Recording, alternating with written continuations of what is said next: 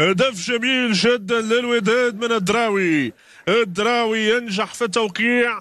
رد بقوة على تعامل كان سيء مع الكرات الثابتة لكن هذه المرة ما كل مرة تسم الجرة والوداد ينجح في توقيع الهدف من كرة ثابتة. كان تعامل ممتاز جدا من الدراوي الذي يسجل الهدف.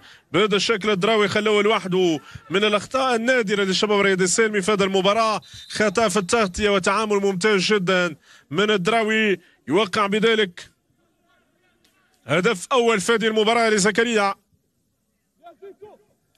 29 سنة.